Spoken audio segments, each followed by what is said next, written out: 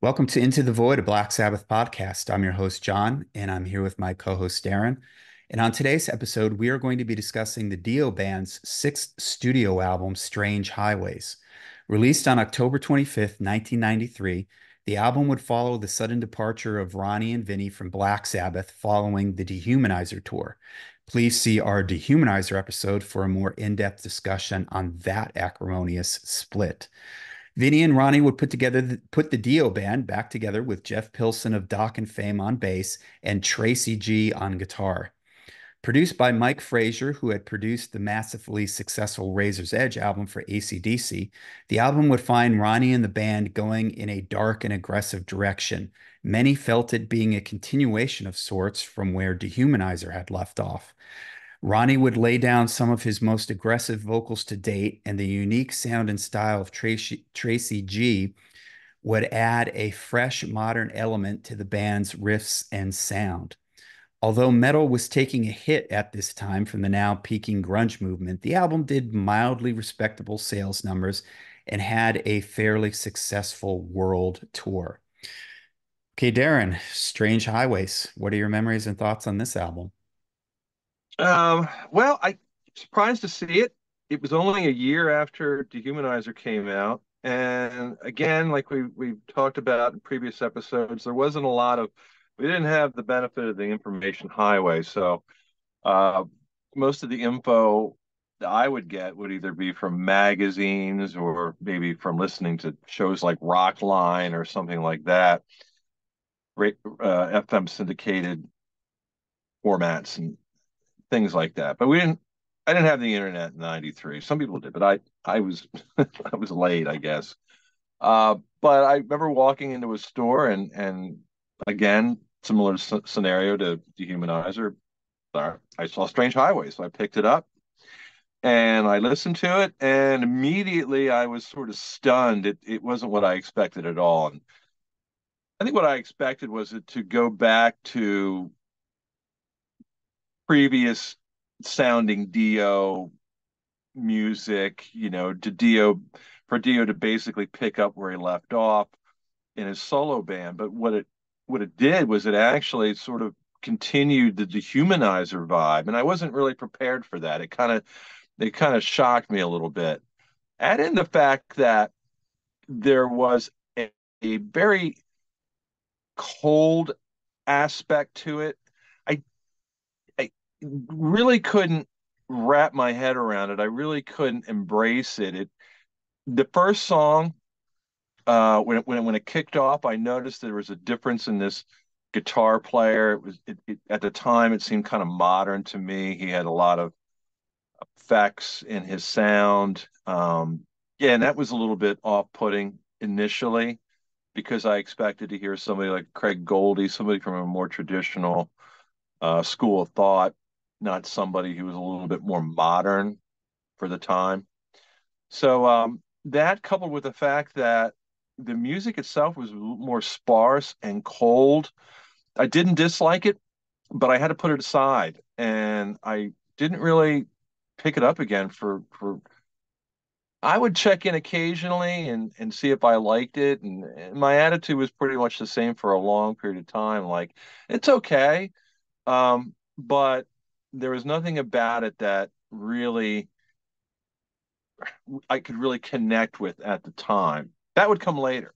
Um, but initially, it was difficult for me to really embrace. I did like the first song. I thought coming right out of the gate, um, it was cool. I right away I, I noticed that it was similar in stylistically, you could say to Dehumanizer, there was more of an aggressive sound to Dio's voice. The lyrics were similar to the type of thing that he was singing about in Dehumanizer.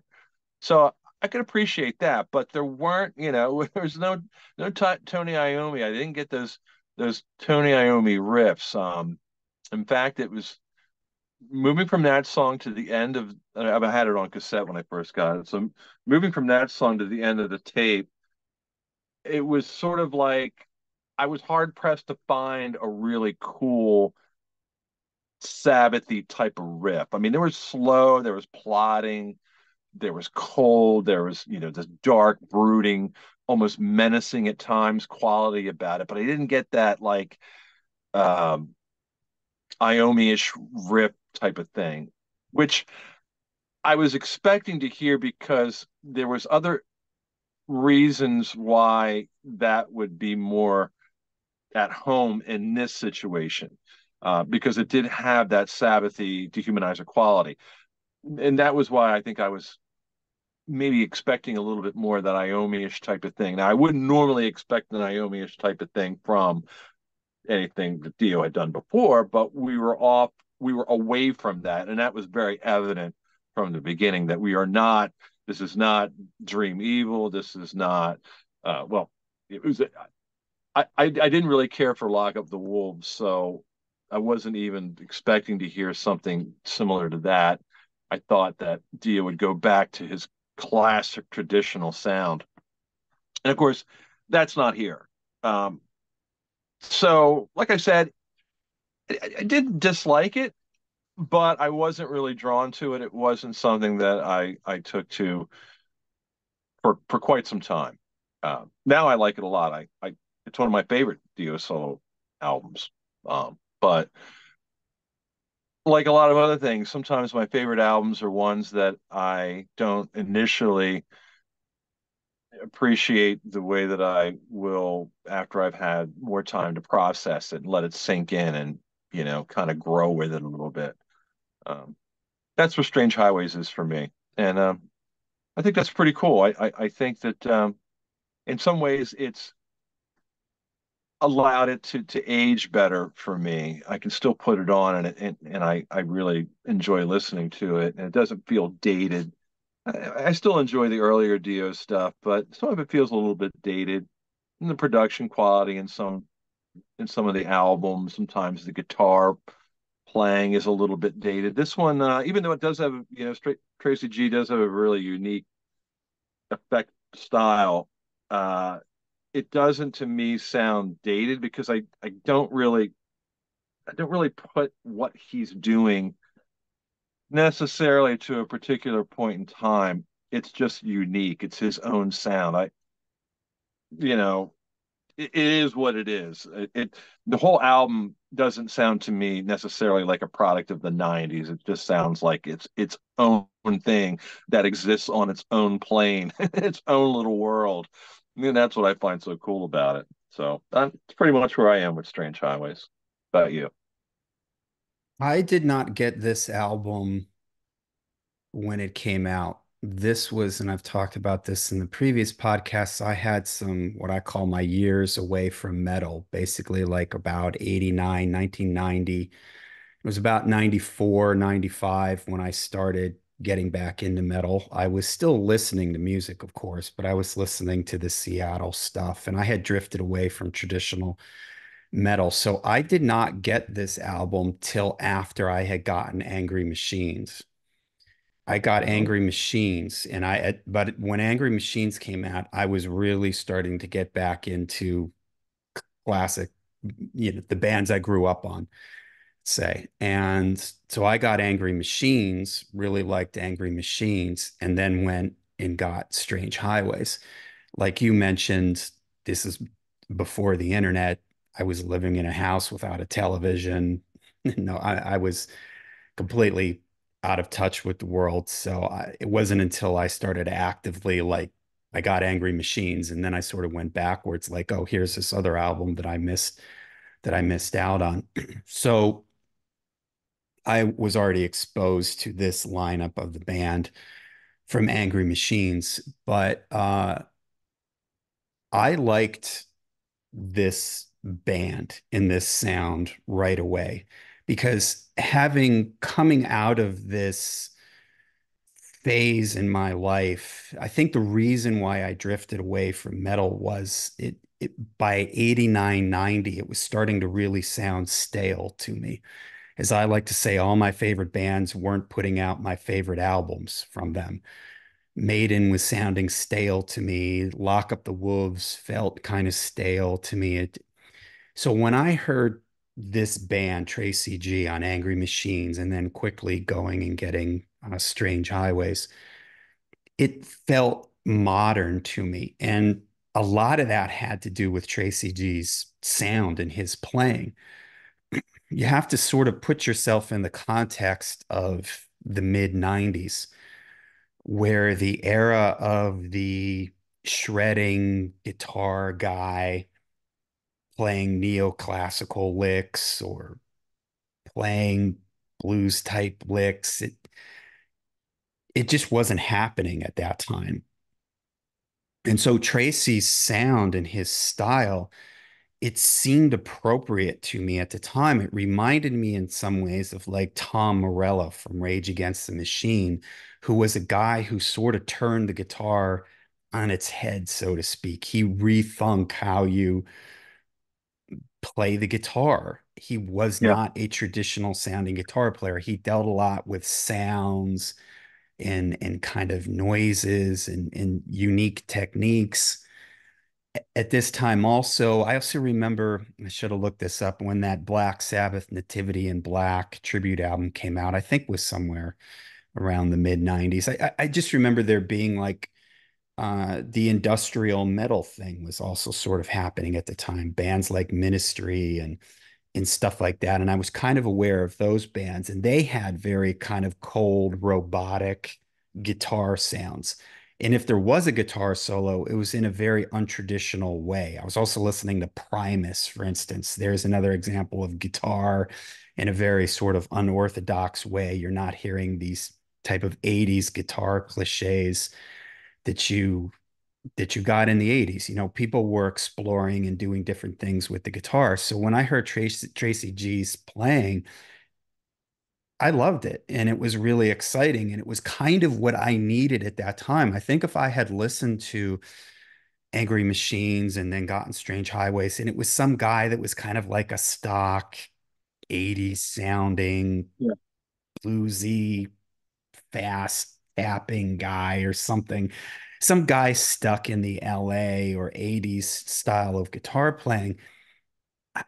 I, don't I it, I don't know if I would I wouldn't have gotten into it. I it, for me getting back into metal, I needed to hear something that that felt modern, that felt like it sort of fit, but that still had some touchstones to classic stuff. Like Ronnie is still singing here. He's not growling or screaming or anything like that.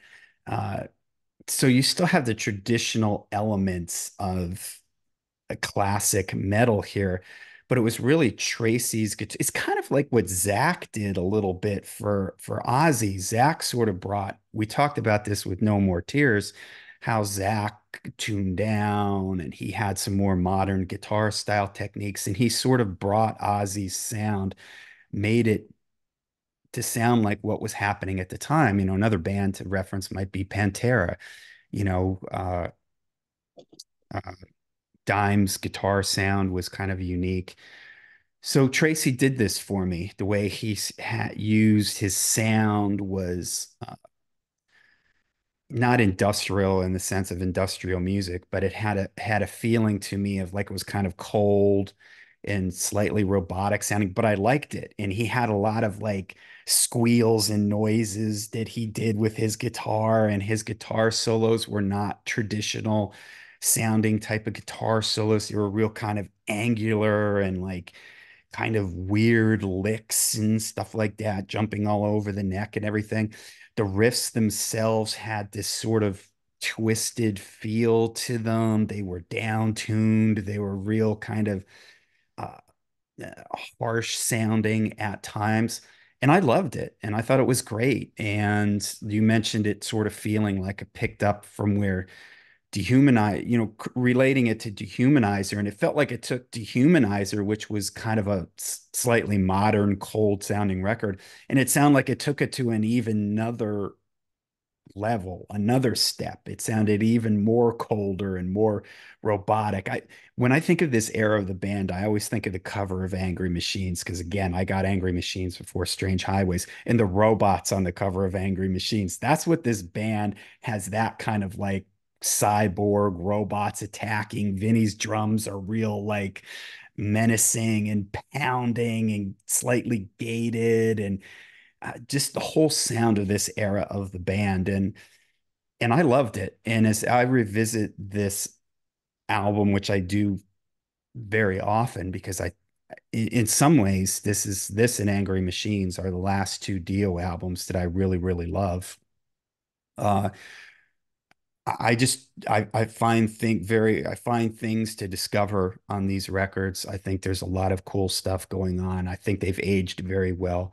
Like you've mentioned, they're albums that I can come back to. And uh, even though I associated, I associate these albums with me getting back into metal. So they remind me of where I was at that time in my life and just starting to get excited about metal again. And uh, yeah, so I have really good memories of this record, this lineup of the band, of just this this this whole era. It's kind of an ex a very exciting time for me, which is kind of funny because there for for a lot of people they don't have that same feeling of this era of the band. This was the checkout point for some people with this era of the band, but for me it was me getting back into the band. This is what got me back into Dio and just even metal in general. This basically Angry Machines, Strange Highways, and uh, Bruce Dickinson's Balls to Picasso were the three albums that me, made me start going back and checking out. Hey, I wonder what Iron Maiden's doing. I wonder what Dio's been up to. And I never left Black Sabbath, but you know these these albums just Dehumanizer 2 started getting me back interested in in metal again. Yeah, well, I really liked Dehumanizer. I was really, really excited about that album when it came out, and I was disappointed that things didn't move forward with that lineup. And um, when I heard this, like I said, it, it reminded me of Dehumanizer, so I was I was happy about that. But I, again, it wasn't it wasn't Tony Iommi, and it was it was Tracy G. And you made a good comparison, and I didn't. I, it, it never dawned on me until you said it, but you compared him to Tom Morello in in as so far as taking the instrument and doing something unique with it. And that's a really good comparison because even though they don't sound alike, the, the things that Tracy G is doing are, are definitely outside the box and definitely different from what Vivian Campbell and Craig Goldy and uh, what's the other guy's name? Uh, Rowan Robertson. Robertson. What was his first name again? Rowan. Rowan. That's right. Um, Tracy G was doing his own thing. He was bringing his own style to the band, and um, in much the same way that Tom Morello was doing his thing. It was just ex- experimenting with the instrument, getting different sounds, and and making a unique statement with his um, contribution to the Dio band. And uh, when we um, when this episode was, we were getting ready to do it, and it was time to start thinking about Strange Highways. Uh, I really couldn't find very much on the internet, or uh, Dio's book doesn't doesn't go into this era. And so it was hard for me to to find a lot of information on Tracy G and where he came from and, and the background and the history of the band and the, the historical context of where where Dio was and, and how this band came together. But um, I did have a friend who worked with Tracy G and one of Tracy G's post Dio solo endeavors. And um, my friend Elvin Rodriguez, who's also in the band Spillage, um, plugging Spillage. Spillage is a great band from Chicago. Um, for obviously people who are listening to this and are fans of Black Sabbath, you should check out Spillage. Very uh, traditional Sabbathy. In fact, they even do a pretty killer cover of Dirty Women on their second album. I believe it's their second album, Blood of Blood of Angels. Anyway, Elvin hooked me up uh, with Tracy G and uh, I had the opportunity to just go right to the source um, and ask Tracy G, how did the band come together? You know, where did you come from, and and what was what was the writing situation like? How was the studio experience?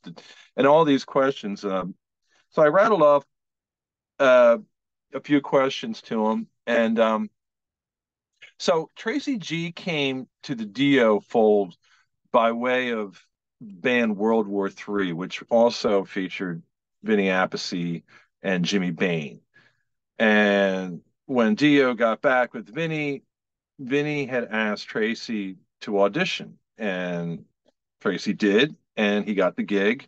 And so at this point, the beginning stages of Strange Highways, we had Vinny, Tracy G, and Jimmy Bain. Jimmy Bain lasted for about two weeks, and um, then they brought in Jeff Pilson and from formerly of, of and fame. I mean, that's where I know Jeff Pilson from. I don't know where else Jeff Pilson, what other bands Jeff Pilson would in, was in, but he was in Dokken, which was interesting because Dokken's not a band that I would consider heavy. I mean, you could say they're metal, but not in the way that this album is metal. So when I saw that Jeff Pilson was was part of the band, I was kind of taken back by that. But anyway, as as as Tracy explained, um, Jimmy Bain was initially in the band. It lasted about two weeks, and he had a disagreement with Ronnie, I believe, and then he left. And then Jeff Pilson came in, and Jeff Pilson continued to write with the band.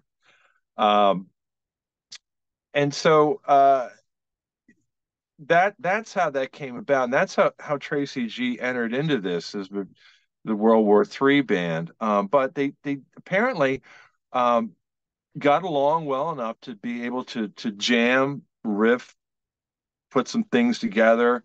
Um, Ronnie would be in the room. He'd listen to it. When he heard something he liked, he'd say, "Whoa, whoa, whoa, play that again," and they would work on that, work on that part that maybe that riff or that progression or whatever it was that Ronnie had an interest in, and they would work on that as the song. So the whole thing came together pretty organically. And as you listen to the album, you, you can hear, I think, a bit of that, that organic, you know, playing off the, the musicians playing off one another. There is a sparse quality to most of the song. There is a consistently slower to mid tempo type of thing going on from song to song, but you can hear that the instruments seem to be beating off of one another.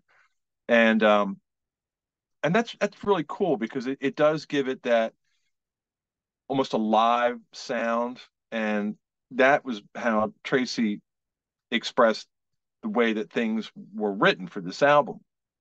And then they would record things. Uh, Dio would take the recorder home with him.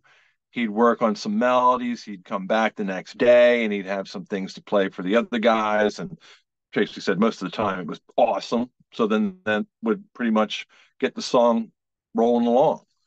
Um, so, you know, when, when you're talking about this album and where these guys were at this time, I, I think that the way that things were progressing, things, the way that things were coming together also kind of helped shape this the way that this album sounds. It was like almost kind of back to the drawing board, back to square one. You know, we had talked about in our Holy Diver episode where you know Dio was out of Sabbath and now he's starting a solo band. It's kind of almost the same scenario.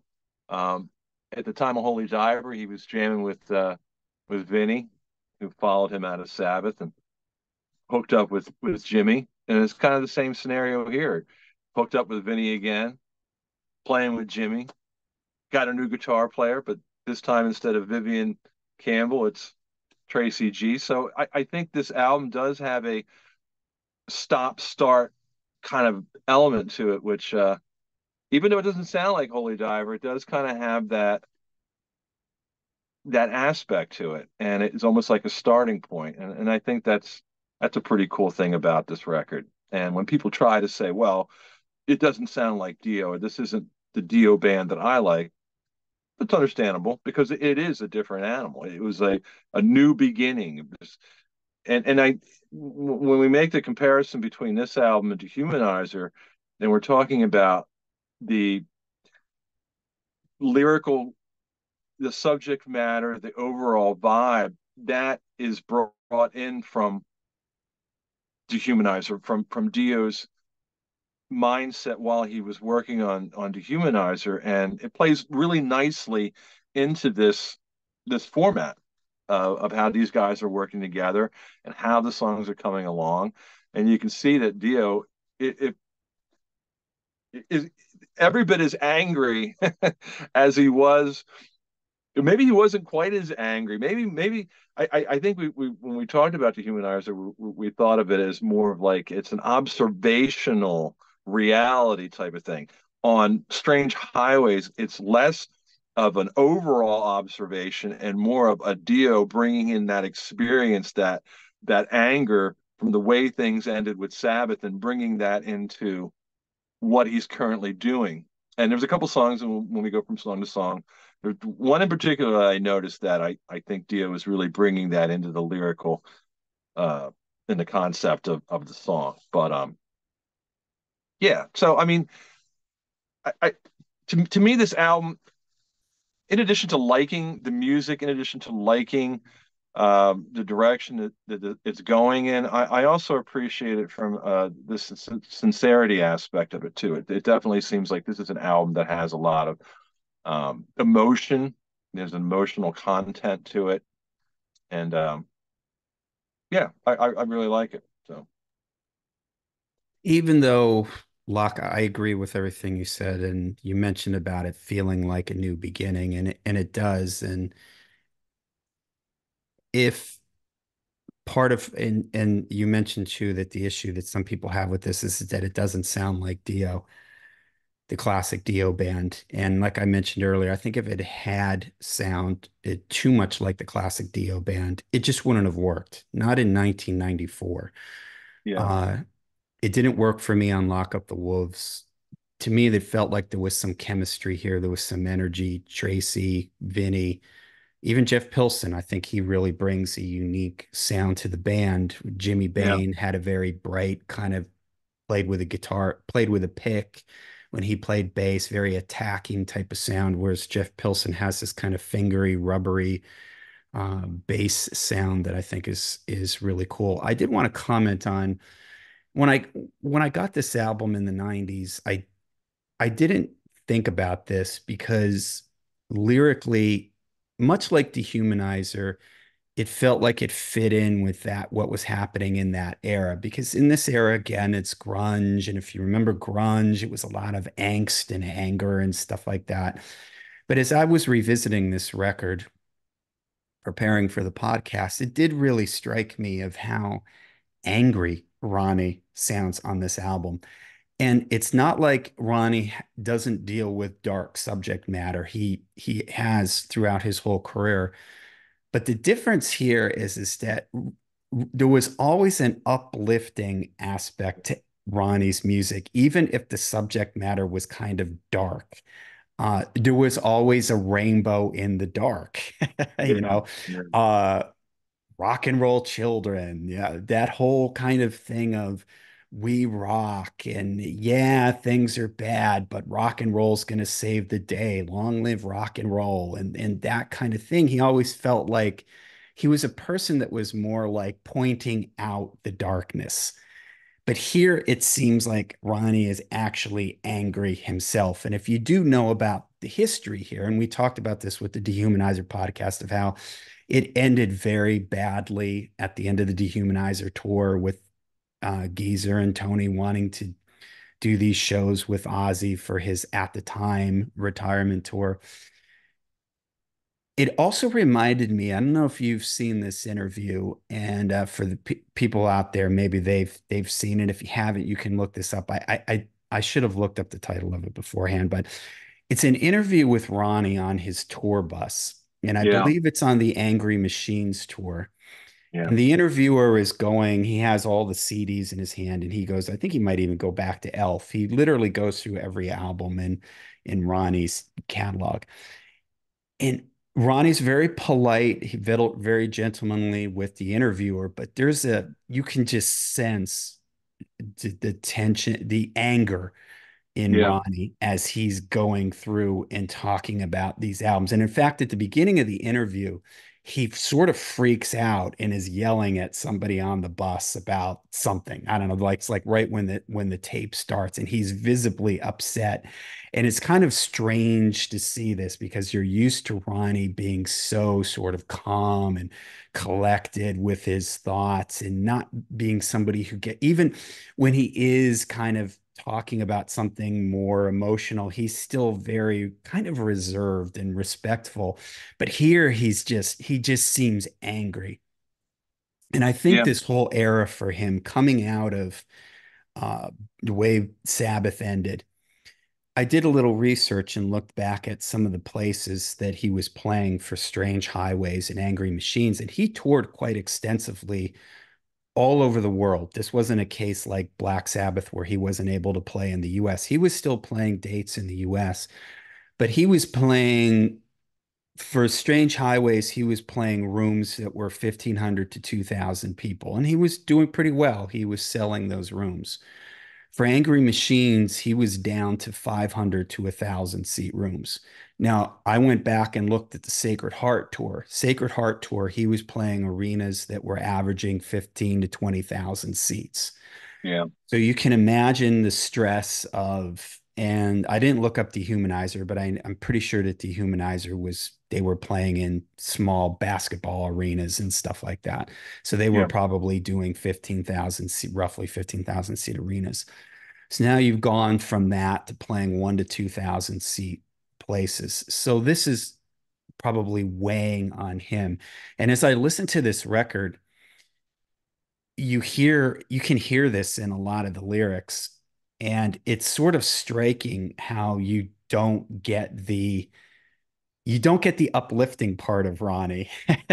No. You know, you don't get the hey, things are bad, but hey, it'll all be okay because rock and roll will save the day, or you know, rainbow and there's a rainbow in the dark. We're all rock and roll children. You know, one night in the city, that that that kind of thing where everything kind of works out in the end. You you don't get that here. It's a real sort of No. uh, you can sense in the lyrics how and the lyrics are very pointed at times and you if you can almost hear him some of these lyrics you could just think that he's singing these to geezer and tony and just the business in in general and it's in some ways it's it's it's interesting but it's also kind of sad knowing what knowing and and knowing what kind of person that Ronnie was. He was a guy that was very uh, had a lot of good energy. And if you listen, if you read interviews with Wendy Dio, she alludes to this too, that this was a very difficult time for Ronnie. Uh, Strange Highways, Angry Machines. Wendy has said Angry Machines is not her favorite Dio record because she can sense how angry Ronnie was at this at this time in his career and everything. So it is kind of interesting as I was listening to it today. I was I was really kind of sensing that. And in some ways it makes me a little uncomfortable because again, you're used to Ronnie being this this guy who uh you know, there is some something positive, uplifting coming Yeah. from his lyrics. And the album too is very there's very little levity on this record. There is no walk away or do you close your eyes or just mystery or uh uh hungry for heaven. You know, you're not getting really any of that kind of, which usually on a Dio record, even in with during the Sabbath era, there's usually one or two things that are just that are just kind of fun, slipping away or you know whatever, walk away, uh, those kind of things you know, that are just kind of a little bit more lighthearted and and fun. Really isn't any of that on here, so the album can be a little fatiguing, you know, when you listen to it from beginning to end. It's it's pretty intense. There's not again, there's not a lot of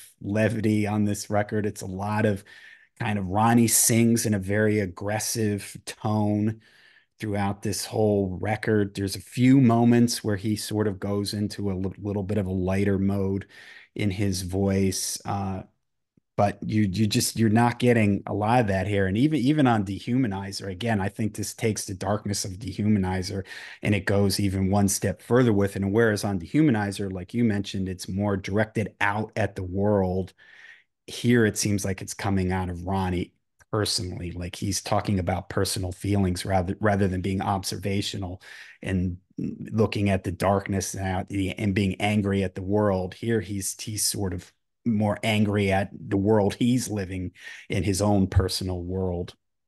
Yeah.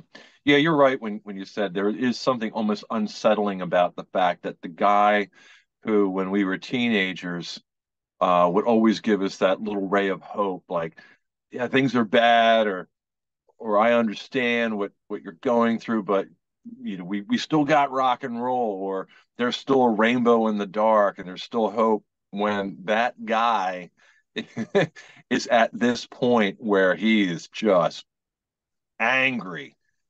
It's almost like it it's it's kind of startling.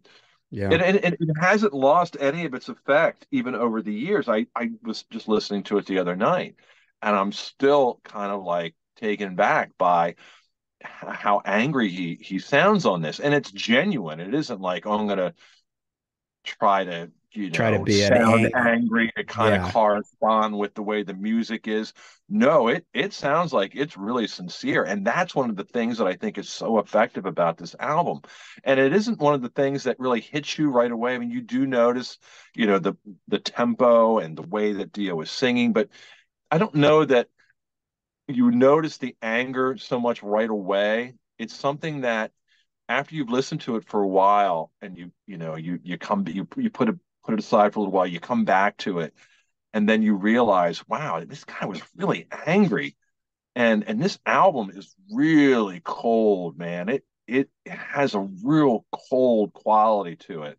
and I love that because it's it's just a different expression. Um, you're right, there isn't any levity. I mean, there is a little bit, but it's almost in a sardonic kind of way. It, it's yeah. not in like a very feel good sort of way. So it is a very, very cold album. And I think that was one of the things that initially pushed me away from it. You know, people have said, and I've, I've read people talking about their attitude toward this album and not liking it because they had issues with the Tracy G. Um, but I, I'm not sure if that I, I, think that's an easy place to go because that is one of the more significant differences uh, with the way with the sound of this album, but I would I would venture to say that it probably is the way that the album is so cold and it has a brutal emotional content to it that I think was what really um, the underlying thing that was pushing or maybe was a little off-putting to people. And they just sort of attributed it to the way the guitar sounded uh, because that was the most noticeable thing. And when you're trying to like figure out, well, why is it that I can't connect to it? And the guitar, that unique guitar sound that Tracy G has is jumping out at you. Well, that's a really easy place to go. It's oh well, it's because of the way that the album sounds. But I think beneath the surface, and I think almost subliminally and psychologically, there was this cold, dark, menacing sounding record that I think was making it difficult for people to really connect with it the way that they were able to connect with the hopeful um, more positive i'm in this with you uh, we're all in this together kind of dio thing. Um, we kind of lost that leader. We lost him in the darkness. Where is he? Where is he? Oh he's off somewhere else and he's dealing with his own issues. And and, and you know it, it, it's cool but in a way it it is really it kind of puts you in a in a weird place with, with, with your experience of Dio and his music, and because I mean, there's a long tradition. We're talking about you know the Dio with the rainbow and the wizards and the hope and the rock yeah. and roll children and everything. There's a mystery and hungry for heaven. There's a long tradition of that. And it goes back to rainbow basically in, in some in some way. But when so that long tradition has it is now over. And it's it's kind of it's perplexing. It's like wait a minute what happened? And to hear that voice that you're so familiar with and being you know a comforting uh, voice is now dealing with his own. And you want to like part of part of me is like oh well, i want to i want to say it'll be okay ronnie. I'm here for you. Yeah. But you know that of course that's not that's not the case. And um but it is sort of like a little bit it's um jarring to hear ronnie like this. But man it makes for a great album. You know i wouldn't have it any other way. You know it's unfortunate that i'm sure he was struggling with things and it could have been you know a product of the times. It's like you said you know the the crowds were were becoming fewer you know going from arenas to what, what did you say basketball Mm, stadiums or Well, by the time here, he's playing 2000, one to 2000 seat places. So that's basically like a large club. Like, a, like right. So he's playing, going from arenas to clubs, and I mean that has to be something that is a hard pill to swallow. So there's that, you know, you have that in the background, and also I, am really familiar with that interview, and I think about that a lot. The one you just mentioned about when he's on the bus and the, and the guy's interviewing him, and he has and Ronnie signing the CDs, and, and and what's so cool about that is that that is Ronnie not being a rock star. That is Ronnie just being a normal human being, Yeah. and and talking about you can just you can tell how disappointed and angry he is. And he said at one point, "He's like, yeah, this could have been the greatest band in the world, but these guys blew it." And he's right. You know, I think uh-huh. Yeah. it continued on either after Mob Rules or after Dehumanizer. I mean, yeah, they'd be a force to they reckon with. have gone? Yeah. yeah, so And and for me, I can't picture any this is why Tracy G works in this band for me. If it was a guy with kind of a 70s blues rock, British blues rock guitar style and sound, playing blues type riffs, it, it, it just wouldn't have worked. It needed this kind of noisy, cold, sometimes squealy and atonal sounding guitar stuff, sounds coming out of nowhere, riffs that sound like they're eh, I always think of like, and this is perfectly suits Vinny's drumming. You know, Vinny is is the master of just that simple pounding slow drum beat, you know, and and yeah, Tracy's guitar playing locked in on those weird angular riffs. It sounds like some kind of futuristic robotic tank rolling through a winter field or something, you know, it just has this like very driving, cold, hard feel to it. Uh, so I can't see it working any other way. It made total sense to me when I heard it at the at the time, and and this is just it's what I wanted to hear. I I didn't want to hear some stale 80s sounding thing. I wanted something that that sounded like it worked because the world had changed. Metal metal had changed by 94, 95. The things the landscape was totally different. It didn't the whole going back to 1988 it wasn't working for anybody in 1994 95 you know what i mean? You either you yeah, either did something to, to to adjust to it or or it just wasn't happening for you you know? So i i appreciated the fact that it was different and i appreciated the fact that tracy was coming in with this really unique sound that that, that the band in general just had this this kind of unique uh,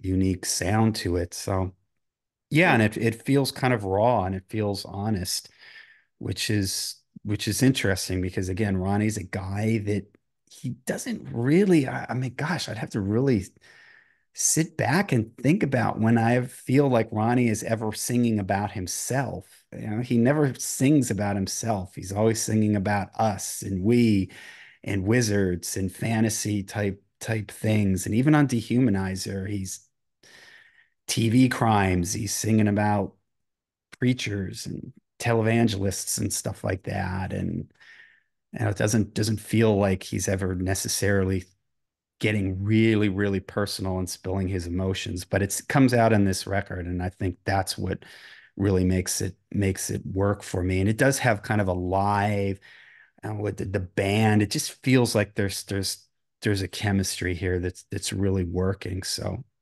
yeah. Yeah, I agree.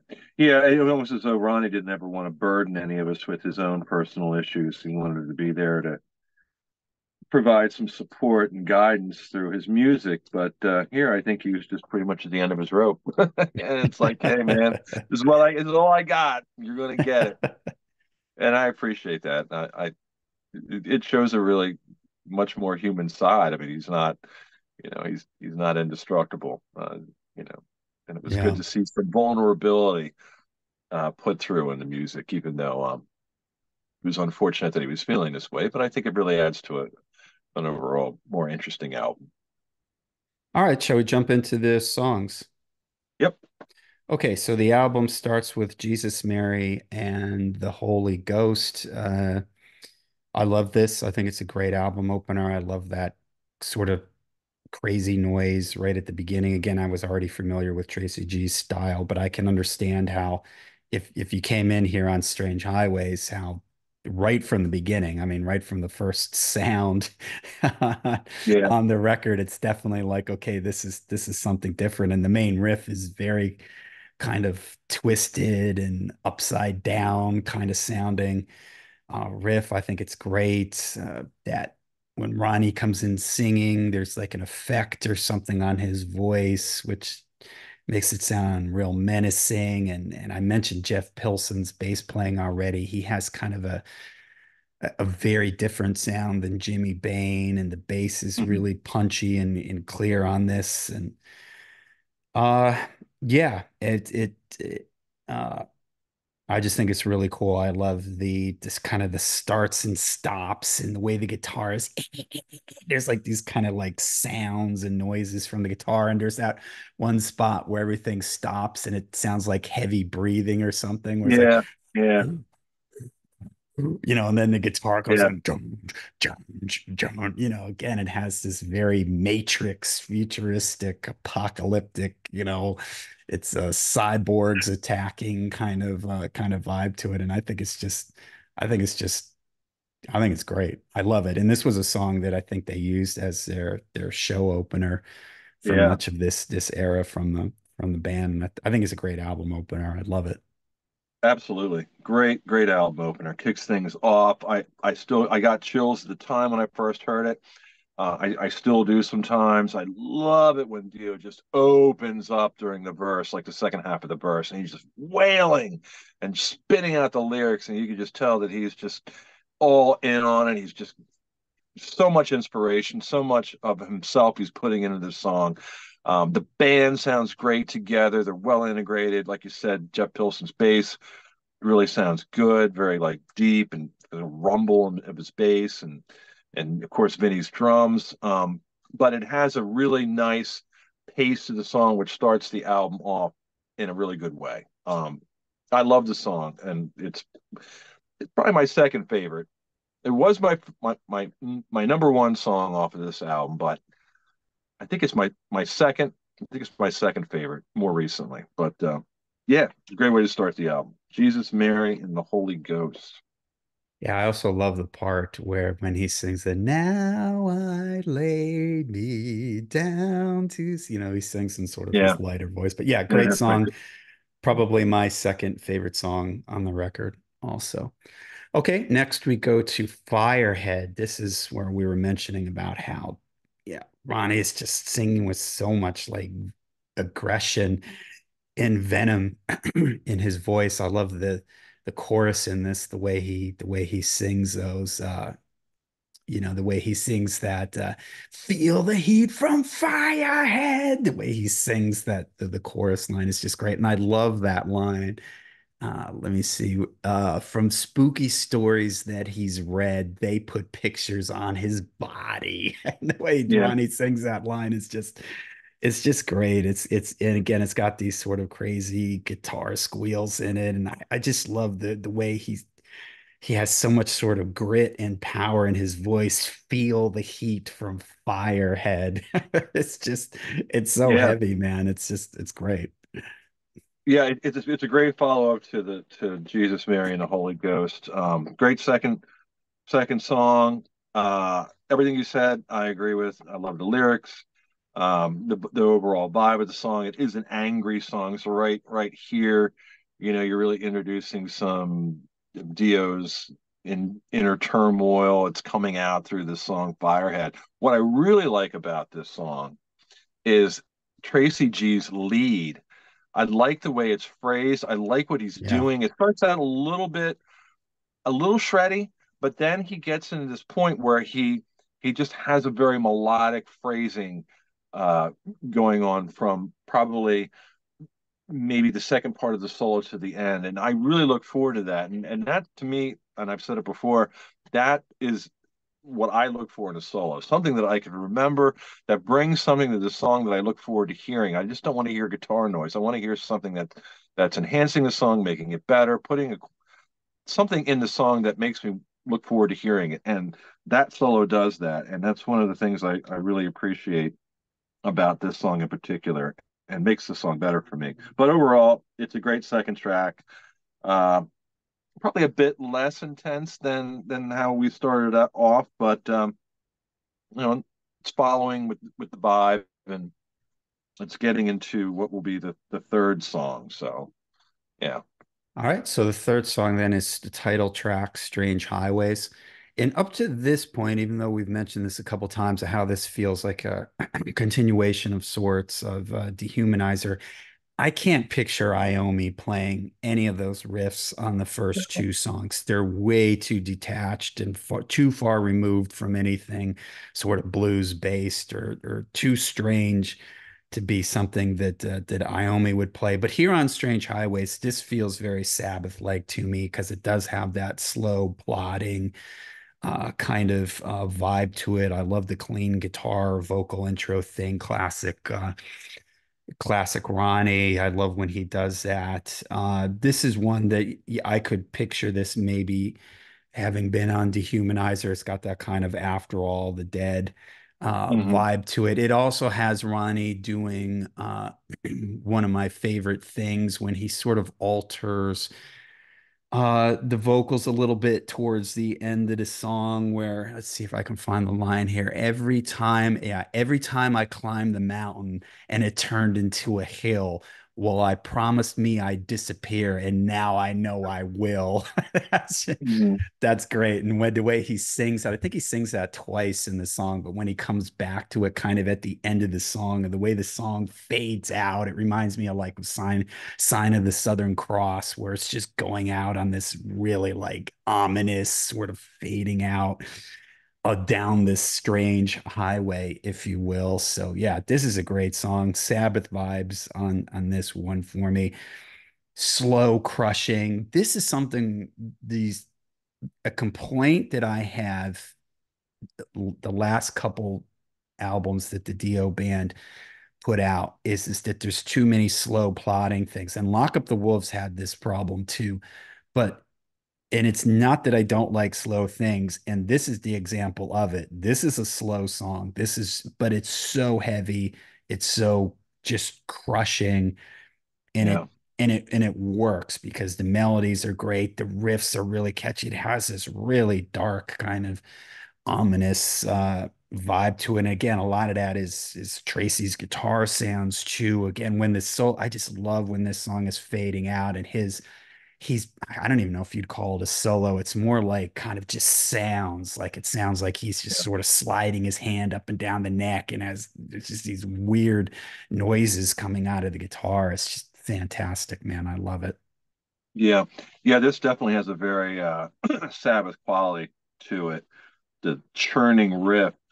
Um and this is really effective and in some ways when we talk about the coldness of the album and how it could be a bit off-putting in a way uh, because you're not sure how to how to process this this direction that Dio is going. And I think this song probably best exemplifies that that feel. Starts off melancholy and bluesy a little little bluesy more melancholy. And usually traditionally where Dio will go from there is into kind of a more um, uh, he'll take it up a notch with the riff. The, the, the riff that'll come in will be something that kind of like gets your blood pumping. Yeah. But man, it's not happening here. It just drops. It drops you down. But it's really, really cool, and it has it really conveys this sincerity from where it starts out and the way that he's singing it, and it's melancholy. And then you think, well, okay, so what Dio would normally do, like I just like I like I said, he would probably bring it up. But man, he's just he's he's going from the melancholy and he's continuing in that in that emotional vein, but taking it down to an even lower place, and it makes sense and Yeah. it's it's a little unusual for the for the title track to be the third song on the album. But when you don't think of it from that aspect, when you think of it as how these songs are flowing, and you're starting off, it kicks things off with um, Jesus, Mary, and the Holy Ghost goes into Firehead, and you've got a good one-two punch there. Now it's time to get into the feel, get into the concept that they were trying to build on this album. And this song does that so well. So it's it's a really it is a really good place in the sequence for it. But man, I cannot understate the way that this thing just is like boom. It is like boom. Yeah. It's heavy. And um and wow, I, I had never heard anything like this from Dio before. And done not only is it is it a first, basically.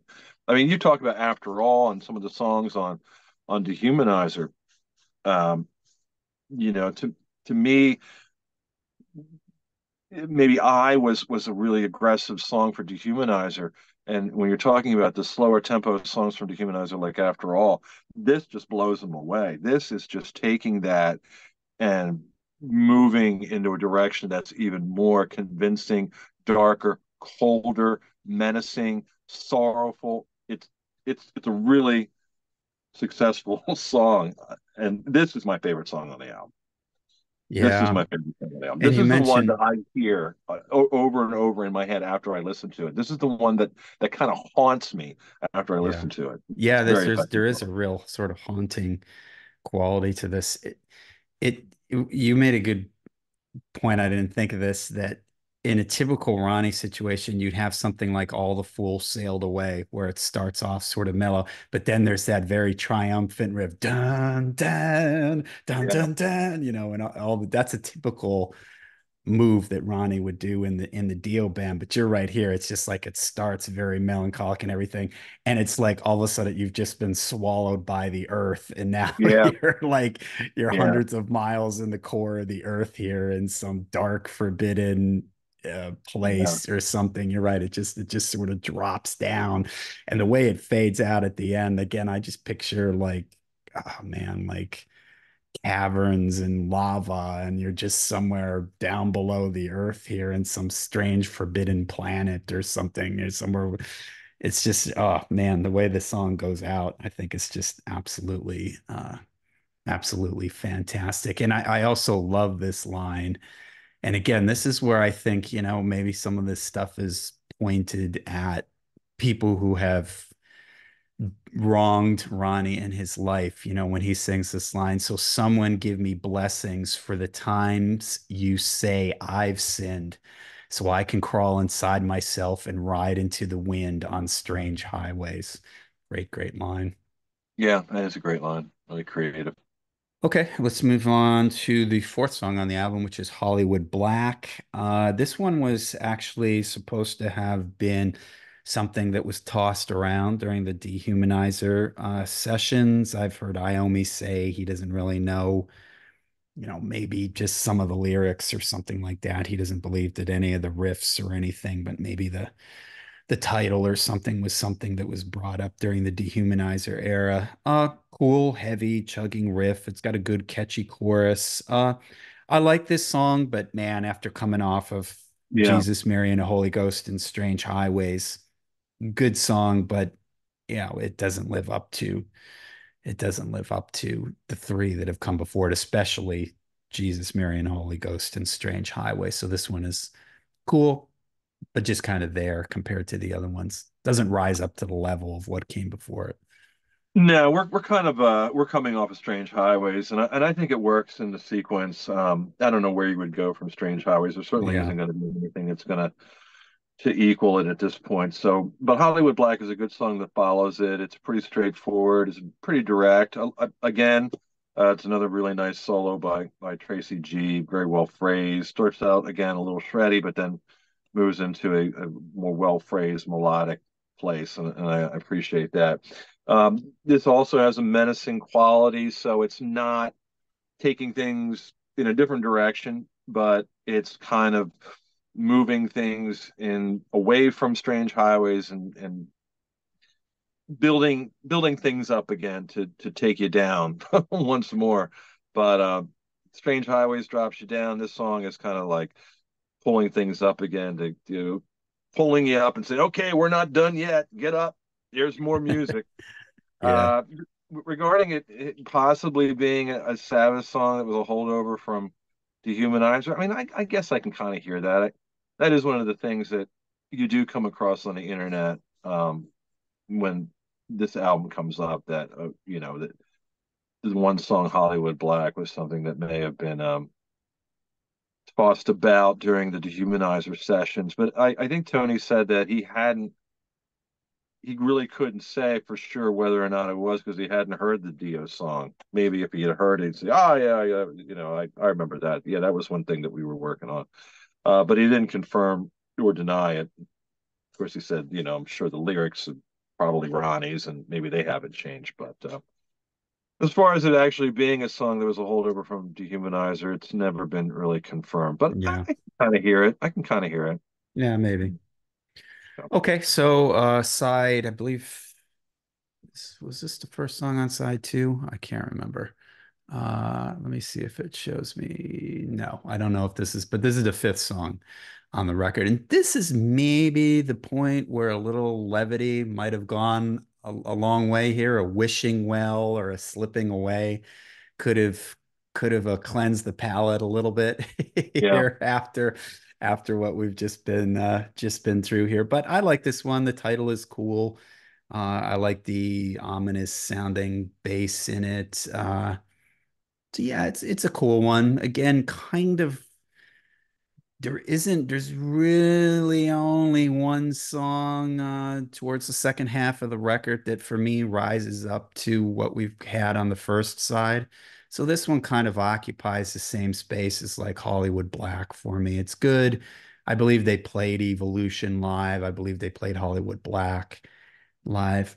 Good song. Doesn't reach yeah is, isn't isn't a 10 out of 10 but it's you know it's a solid 8 out of 10 yeah, I mean the first three songs are are really uh, maybe arguably the first four songs are pretty much the best of side one. Evolution, uh, it is dark and brooding. It's a little bit of a filler tune though for me. I'm not really drawn to it. It's not one that I'm like really looking forward to any particular part of the song. It, it's there, and I I enjoy it um, because I'm just coming off the strength of the first four songs. So I'm sort of like it's sort of winding out side one of the album, but it, it's not one that I would typically drop the needle on. It's it's a little bit of filler for me. So yeah.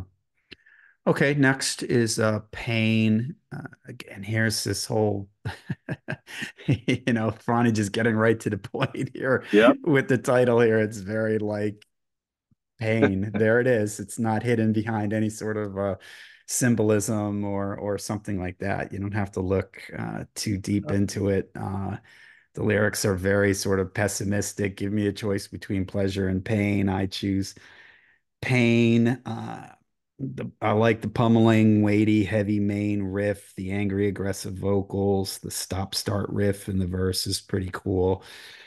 Uh, again, yeah, this here's what we talked about in the beginning of the song here. It's it is pretty negative kind of kind of lyrics here, but this is probably where Ronnie was, you know, at this at this point. So when you sort of listen back to it and you know historically what would have been going on, it's maybe lyrics like this.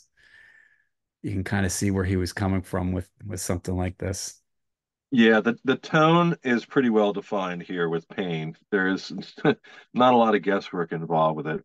Um, maybe one of the more menacing sounding songs on the album, but again, similar to Evolution, it, I'm not really drawn to it so much. Maybe I will be at some other point in time because some of these songs have kind of opened up more over the years. And this may be something that I may warm up to. Um, I'm not exactly cold to it, but I'm just sort of a little bit indifferent to it. it it's definitely not a highlight. Um, but it, it, it sort of you know expands on the theme, it reinforces the theme. I should say that that's throughout the album. So, and it ends side one and um, puts a bow on side one. And looking back on what we've just heard, I think that uh, yeah, I mean, it, it, it makes an impression on the listener. I mean, it's like, do we dare turn the record over and listen to side two for for fear of what lies in store? Because man, as we got off in a pretty uh pretty pretty dark ride here on side one, but uh, off we go. That's interesting. Two. Are you are you looking at the record right now? Because um, on my no, record, it has "Pain" as the uh, first song on side two. But yeah, you're right. And I mean, for me, this is sort of one problem I have with this record is that this the later half of this album, Evolution, Pain, not that they're bad songs, but they're just kind of there. They're eight, eight out of 10, 7.5 out of 10. And there's a little bit of that here on you don't have a lot of songs that there really aren't any songs on this record that I don't like, but there's also only a handful of songs that I think are 10 out of 10 really, really great songs. And then there's a lot of other ones that are kind of seven, eight, eight out of 10 numbers. And unfortunately, Evolution and Pain just kind of feel like that for me. When I first grabbed this record, these aren't the songs that that I'm immediately thinking about and that I'm can't wait till the album gets to them. But all right, so we'll move. Yeah, you're right. Uh, side two, I have the album in my hand now. I, I guess I was breaking it up. I had the songs listed here on this uh, on this printout that I'm holding in my hand, but I didn't have the album with me. But yeah, so Pain starts off side two. Um, yeah, I mean, I'm not, you know, it, it, it basically it, it continues with the same sort of energy that's from Evolution. Um, yeah. And like you said, it, it's not a highlight. All right, next is One Foot in the Grave. And this is kind of still along sort of the same vibe to me. I it has a riff at the beginning here, which is about as close to the blues as maybe we get uh through through the whole record. Although I maybe I like this one a little bit better than than Pain. Uh yeah, it's it again, it's a good song, not as good as some of the stuff on on side one, but uh it's I like it better. Yeah, it, it it's there. I, I do like it better than the uh the previous two songs. Um I'm not really fond of the vocal melody in the beginning, but the song does sort of have an ebb and flow to it that gets makes it more interesting as it moves along, which I think is cool. I always appreciate that kind of organic quality in a song where you know it starts out maybe it's something that doesn't doesn't appeal to you right away, but where it moves to, it's like, oh, well, that's really cool. I didn't see that coming, or that's really interesting. That's that's a really melodic piece. That that's what this song does, and, and I appreciate that about it. But um, you have to kind of for me anyway, I, I had to kind of stick with it. I had to like, okay, well, it's not doing that anything for me right off the bat. But overall, because of where it goes and how it ends, I um I do like it. It's um I wouldn't say it's a highlight, but it's definitely a song that I enjoy on the album, and I think that it it makes side two pretty enjoyable, pretty interesting. One of the songs that that does. Um, and again, it's another. It should be noted that it's a, another good solo by Tracy G. Um, at this point, you know, we pretty familiar with how he solos, and he's not afraid to show that he does have a technical side. He does have a technical aspect to his playing. But what I appreciate about how he plays is that he also does exercise some restraint and does try to, you know, a little bit, a little bit of a show off in, in a way. You know, this is what I could look what I can do but he also comes reels it back in and gets it dialed into the the feeling and the mood of the song and shows some some uh, a tasteful quality to his playing and um, the solo in this song i think is also a good example of that yeah i agree i like his playing on this and uh, i would probably rank this higher than evolution and pain by a little bit but the next song uh, Give Her the Gun. Now, this is a deep cut favorite of mine. Favorite of mine. I believe we did a uh, Sabbath Sunday episode where we did uh, deep cut favorites, and I think uh, this was on my list because I always love this one. I love the feel on this. uh, that clean guitar intro. I always love when Ronnie sings in that in that voice. Uh, and I love the feel in the verse here, like when the drums come in and uh, please, please don't let him in. You know, the way Ronnie's singing in Yeah. those verses. And then he gets really good, give her the gun, you know, and he gets really, really intense with it. I just think it's great. I think it builds really nice to the choruses. And for me, it's this feel in the verse, that drum beat that that that uh, Vinny is playing in the background there is just really, it's real simple, but it's really cool. I say this all the time. Vinny Appice is the king of just playing a simple drum beat and making it sound really heavy and really cool. And I just I love his drum sounds, his drum sound on this on this album. So yeah, I just I love the way this one builds from the from the quiet kind of beginning to the way the verses are and that feel, that sort of melancholy rolling feel in the verses. But then all of a sudden it gets really big and huge and and powerful. So yeah, I, I love this one. This is maybe my second favorite song on this record. Second or third favorite song. This, Jesus, Mary, and Holy Ghost, and Strange Highways are the when I think of this album, these are my these are the three songs that I think of. Yeah, I'm with you. This is one of my favorites too. Um, and and I'm, I'm glad you mentioned Vinny because we were kind of talking about Dio and and and Tracy G and and I didn't really uh, haven't really mentioned how how great Vinny sounds on this whole album, but especially like you said on on this song. But throughout the album, he just his drums are dark, but man, they are like like he's like Martin Birch said about how he should approach his playing on on Mob Rules by throwing boulders. He's throwing mountains on this song, going one Yeah. step beyond throwing boulders and throwing some even heavier objects. But it integrates so well with with with most of the songs on the album, if not all of the songs on the album, but especially this. Another thing that I appreciate about this song is, again, I'm gonna I'm gonna bring Tracy G up. Um, and and and all the songs so far, there's there's a very um almost cold, stark aspect to his playing, and I don't mean that in a bad way. It just it is a quality that's that's that's noticeable. On this, with the acoustic guitar, it's more warm, and it's a good choice of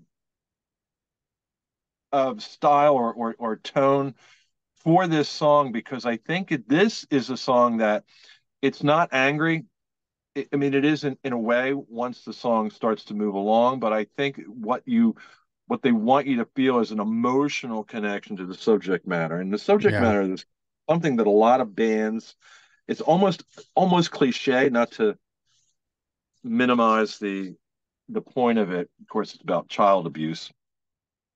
Um, but the way that it's presented here is really effective and it really does pull you into the subject matter emotionally.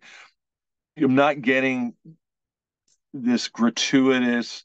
This is a PSA kind of a vibe from this song where I where I do from other bands that have have dabbled with this.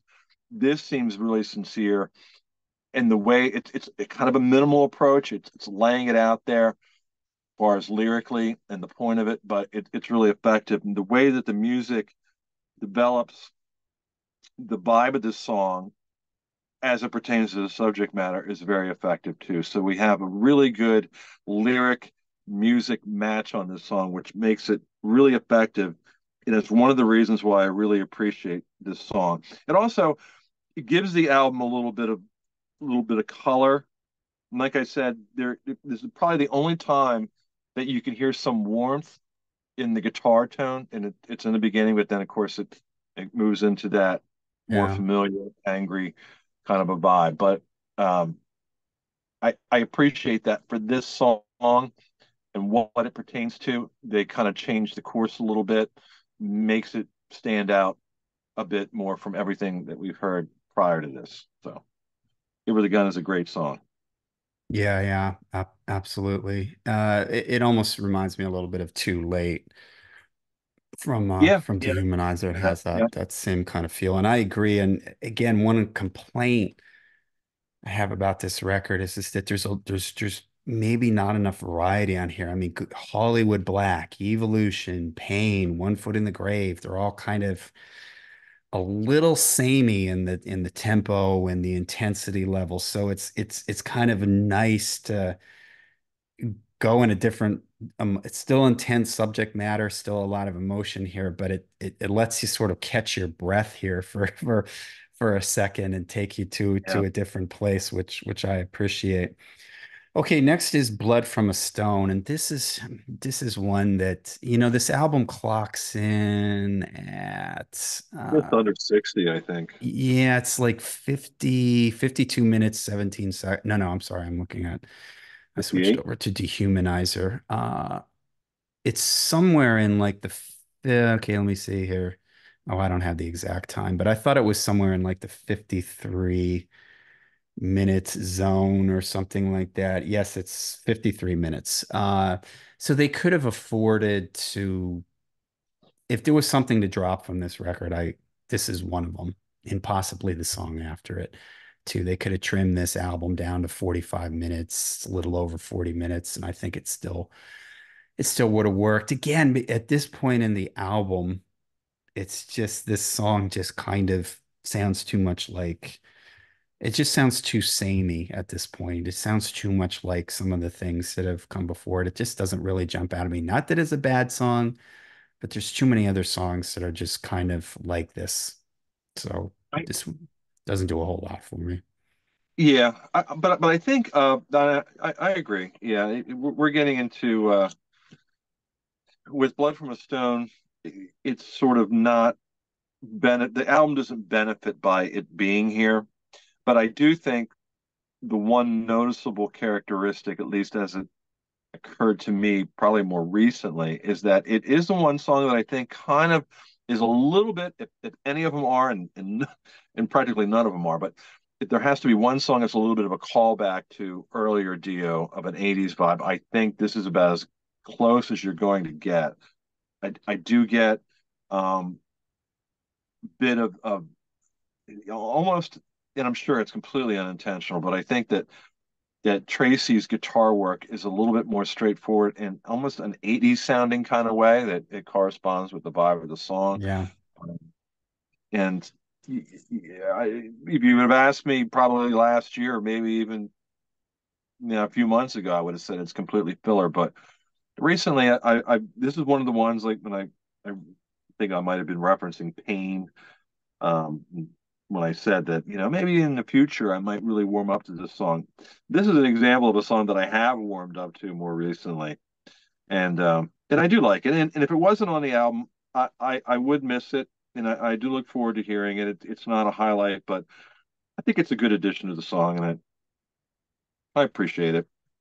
Yeah, it's funny you mentioned that because I really feel like the last three songs on the record start sounding more 80s like like if we move to the next song here's to you this this this is probably the strangest Yeah, song with yeah, that intro there here's to you. That sounds like yeah, so it could have been a Dokken uh, you know Jeff Pilson here you know could have been some 80s glam thing and it is more straightforward it's it's like the songs get more straightforward more 80s sounding as we as we wind the record down here uh compared to everything compared to everything else. This song here's you have for me has a very hard rock kind of it sounds like it could have been on maybe lock up the wolves or or dream evil uh yep, so eh, I guess it's catchy, but it just it, it sticks out in kind of a strange a strange way, even though I've been complaining at this point that, well, you know, the record could use some different feel, could have used a wishing well or or you know, uh, something like that, you know, something that just has a different a different feel to it. And and I guess that's this song here, but these lyrics kind of don't work. Uh for me, I, I don't know. It's just, it's very weird. Here's to you. Here's to me. Masters of the universe, the curse of destiny. It's just, it's weird. It just feels like a song that maybe Ronnie had these lyrics sitting around and they didn't, they didn't make it onto Dream Evil. So he's, he's digging them back, back up here. It just sort of sticks out in a strange way to me, but it is catchy, so I'll give it that. And again, it is different. It's sort of startling when you hear those "Here's to you" vocals at the beginning. You're kind of like, "Wait a minute, what's going on here? Is this uh is this side two of Sacred Heart, or what what's going on here?" Yeah, and I, yeah, I can see how you, and I, I think I used to think of it that way too. I'm like, what the hell is this song doing on? What is going on? This is like breaking the whole vibe. But it, it's not really. I, I think what it is, it's like, um, it's, it's the way I interpret this, and and lyrically, when you read the lyrics, you, you you're interpreting it in in a, in a understandable way, and it, it it's a probably could be considered a, a more obvious way. But I think when you look into and you try to be a little bit more introspective into what is going on here in this song, I think in the way that it does, the reason it, it fits in, I think that it fits in with the album is it's like, okay, he's like he's saying to the fans, okay, thanks for coming with me on this journey. We're almost it's almost done. So here's to you guys. Here's to you guys that are on my side, that are following that followed me here. Um, the resurrection angels, the desperation angels, there still is a bit of that um, isolation, that separation from whatever it is that you're you're ra- railing against. I I think I, the way I interpret the song is that he is like it's it's a tribute. It's it's a acknowledgement of the people that okay, there's a lot of people that were against me throughout my career, even former bandmates and you know whoever but you guys you guys have been with me and you understand and you're listening to this album and you're appreciating this album and you're you're with me on this this ride here this dark heavy menacing plotting ride cold ride but I just want you to know that I'm going to take a little bit of time out here and let you know that I appreciate you. And it still has a little bit of a dark quality to it. It's not total like lift your beer in the air, let's party down. It's, it's not quite to that extent. That's Thank what I think though when I hear that intro. I think yeah. like a beer. Here's to you. Here's to you. Yeah, and that you know? for a while, that's kind of yeah, that's that's how I took it too. But I think I just really started getting into this album, definitely more over the past year. I, and I think a turning point for me was when we were doing, I think it was our Dio deep cuts, and um, I got into this album a lot. Really started really. I mean, I liked it before that, but then when I listened to it prior to doing our our Dio deep cuts, I was like, wow, this album is fantastic. I really, really appreciate that, and I I started looking at the songs for what I felt they were conceptually. I, I, I think that there is a conceptual aspect of this album. Of course, it's pretty obvious. It, it, it you know deals with anger and and it has a cold, hopeless sort of a vibe to it. But I think you know I think it was intended to sort of be therapeutic. I think that Dio maybe wasn't done yet.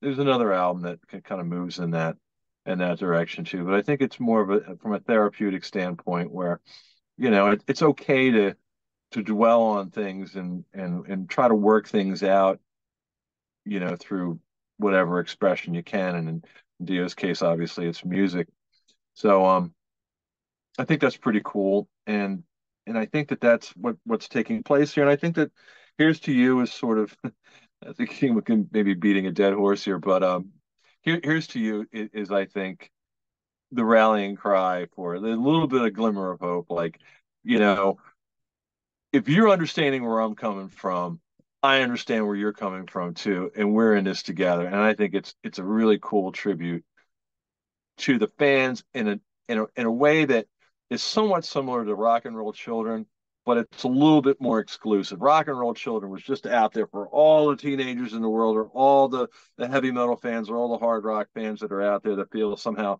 disenfranchised uh, franchise with with the world around them or whatever situations they're going through. This is a little bit more exclusive. This is a little bit more, hey, you guys are in this club with me. You got this album. You're on this journey with me. This is for us.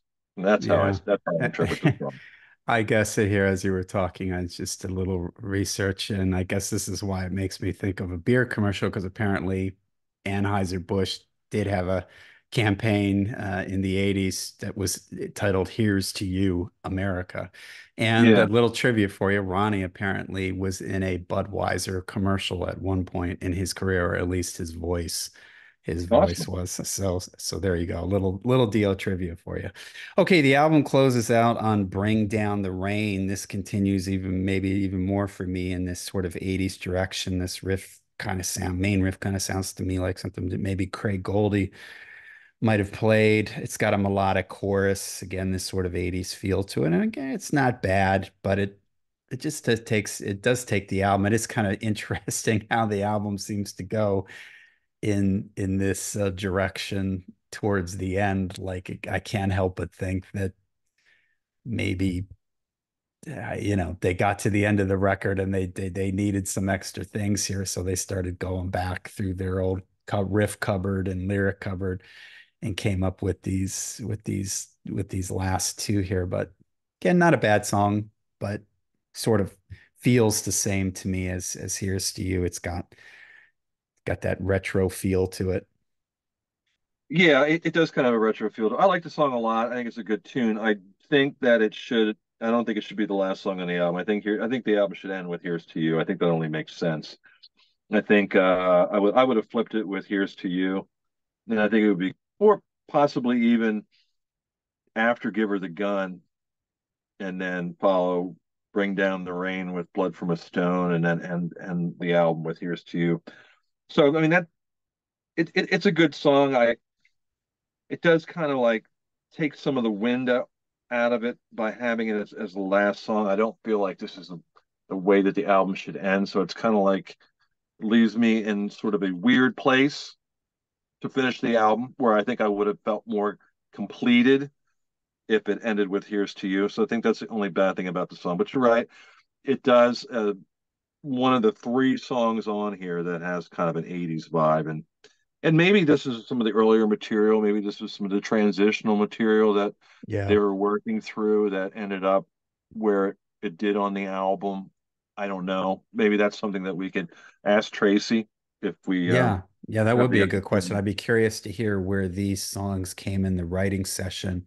If they were things that were at the beginning of the session, like I could picture it both ways. I could picture these being early songs mm-hmm. and it took them a couple songs before they really started finding their their own sound because these yeah. again feel like they're a little bit like could have been on one of the 80s records or I could see at the end of the session they need a couple more songs and Ronnie pulls out an old notebook and he's got a cassette with some riff he was messing around with right around Lock Up the Wolves or Dream Evil and they decide to, to mess around with that and and go for it. So yeah, that would be I that would be interesting to ask Tracy about that how how these songs were put together, what were the first songs that were done for the record, uh, which what were the last songs, what were they thinking, what were they going for with some of these songs, songs like this, these last two or three songs, for instance, that would be very interesting.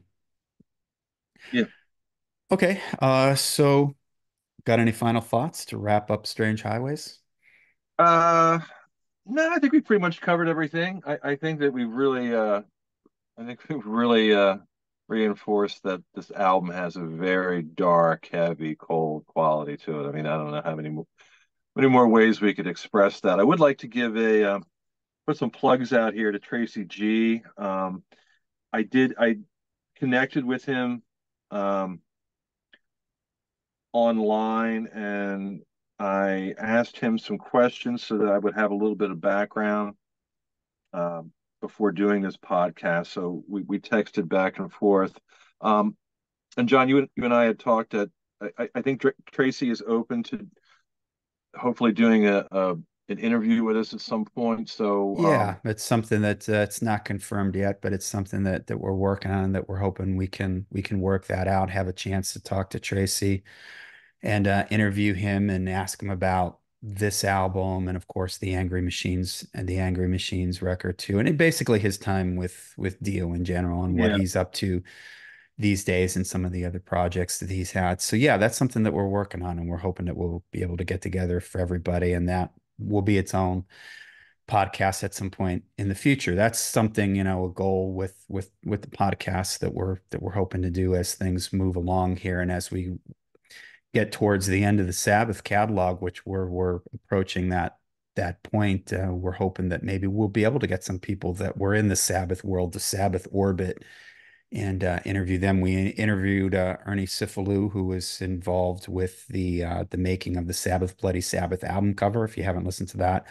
particular episode, that was a fascinating, uh, great episode. Ernie talking about sitting in the mansion, listening to them rehearsing and stuff like yeah. that. So you missed that one, definitely go back and check that out. And I think we're going to be doing looking into doing more stuff like that too, for giving everybody some interviews with from uh, from inside the, the Sabbath world and the the Sabbath universe. So, but I did transcribe this uh, as interview that that I did with Tracy, and I'm going to post that up on the Facebook page. Um, most of it is stuff that we've already talked about, but um, there, there's some there's some plugs here, some some links, tracyg.com that's Tracy's website. Go ahead and check that out. Um, it has what he's been doing recently. If you're a fan of, of Tracy G, like like like John and I are, um, there might be uh, something you might be interested in checking out some new music from Tracy. Of course, he's also on Facebook. Um, but I'm to probably get around to, to, putting this up on the uh, the Facebook page. So um, if you aren't already checking us out on Facebook, um, please do so. Um, we usually uh, have a little discussion about the album prior to this going on the air, and it's always interesting to see prior to, to getting into the conversations what people think about the album. And um, uh, the, we have some really uh, great comments and some interesting perspectives on things. And sometimes we don't always don't always agree on these records, but it's interesting to uh, to see uh, everyone's opinion of them and and I was kind of surprised. This one, when we posted up about uh, coming, that this one was coming soon. I, overall, a really, really positive response, which I was surprised because a, a lot of what I see on on the internet, people seem to be. I think, like you mentioned early on, that this is a sort of a polarizing album, a polarizing era. But the people that uh, commented on the our Facebook page seem to be really, really supportive of this album, which is cool because obviously John and I like it a lot too. So yeah, my anyway. final thoughts on this would be if to follow up on what you just said, if this is an album that you sort of missed, or maybe it didn't click with you when it originally came out, I would encourage people to go back and and give it another listen because I think the reason why like when when we posted something on the Facebook page, we got it that we were going to be doing recording this episode. We got a lot of comments, and I I think it's because we've talked about everybody has talked about last in line and everybody has talked about holy diver and paranoid and things like that and so i think it's fun when you get into these deeper albums these albums that maybe didn't sell as well when they when they came out we're going to be doing cross purposes is going to be our next uh, podcast episode as far as the sequence of the albums that's another album that you know flew under a lot of people's radar at the time but it's become sort of a you know, there's a lot of deep cuts on it. People have rediscovered some of these records that maybe that they missed during the 90s. A lot of these albums weren't promoted as well as the 80s stuff was and stuff like that. So a lot of people miss these things. And if you're one of those people that you missed it, you're not sure about this era, didn't like it back then, haven't listened to it in a really long time, I would encourage you to go back and check out uh, this album again because there's a lot of great stuff on it. So, like Darren said, uh, please check out the Facebook page to stay updated with uh, what we got going on here with Into the Void. And uh, there's also uh, the uh, YouTube channel, Lair of the Alchemist. Darren and I do a Sabbath Sunday thing. We've got a whole back catalog of Sabbath Sunday episodes where we talk about Sabbath and Sabbath related topics. Uh, so we love talking Sabbath. Lots of ways to talk Sabbath with us. Uh, so make sure you check all those out out there. If uh, we appreciate everybody's support, if you would your support listening to this podcast, if you would like to support the podcast even more, you can go to ko-fi.com, ko-fi.com